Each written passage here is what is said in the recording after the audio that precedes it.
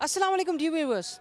As every other department which is involved in the organization and the implementation of the Jalsa Salana, the Department of Transport also plays an integral part to contribute to the smooth running and the success of this occasion. In the following minutes, we are going to show you how the Department of Transport fulfill his duties during the Jalsa days. The Department of Transport provides constant transportation service for the guests of the Jalsa Salana.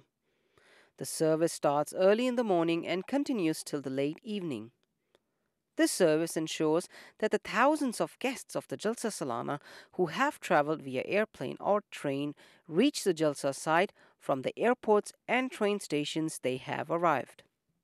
The head of the department, Mr. Ataul Ghufoor Muslim, describes the duties of the department as follows.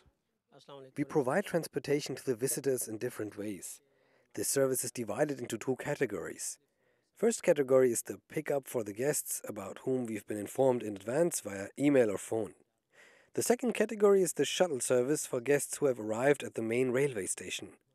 Notwithstanding the above, we try to provide service wherever our help is needed, whether the guests have to be driven somewhere or family members have to be picked up. Our fleet consists of three different types of vehicles big buses, which can transport 70 to 100 people, vans for 9 passengers, and regular cars, all included up to 60 vehicles. Once the head of the department has received an assignment, he delegates this assignment to the staff. The staff members then set off to various points to receive and pick up the distinguished guests.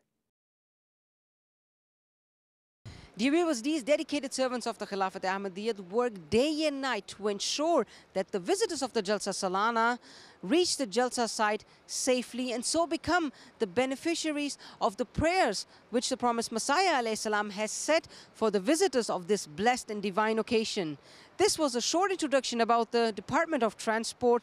Now back to the Jalsa broadcasting. Assalamu alaikum wa rahmatullahi wa barakatuhu.